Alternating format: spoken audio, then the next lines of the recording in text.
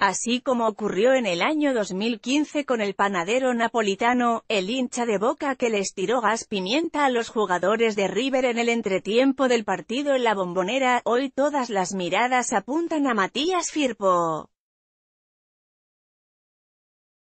Se trata de uno de los simpatizantes del millonario que estaba en el tumulto desde donde le arrojaron todo tipo de objetos al micro que trasladaba a los futbolistas del Ceneice para jugar la superfinal de la Copa Libertadores en el Estadio Monumental.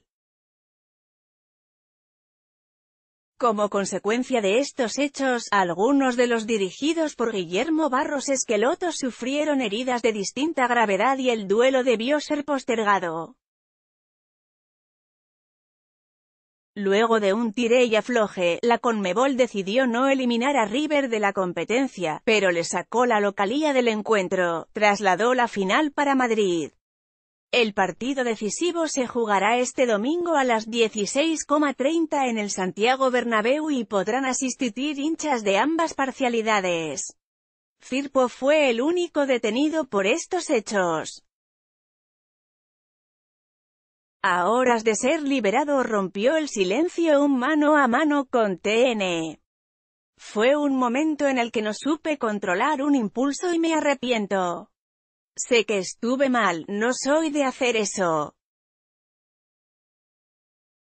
Me duele haber pasado por esto, dijo en la entrevista que le dio a Bella Tarde. Fue un poco de fallas de todo, del operativo y de todo ser humano que se equivoca, como me equivoqué yo. Matías Firpo detalló cómo fueron los hechos. La policía había cortado la cortado la calle y se empezó a juntar gente, no dejaban pasar. Nunca pensamos que iban a hacer doblar el micro, como lo hacen siempre de ahí, porque había un cúmulo de gente, sostuvo. Cuando vino el micro ya era todo un desastre. La policía empujó a la gente para atrás y se dio todo lo que se vio, cerró.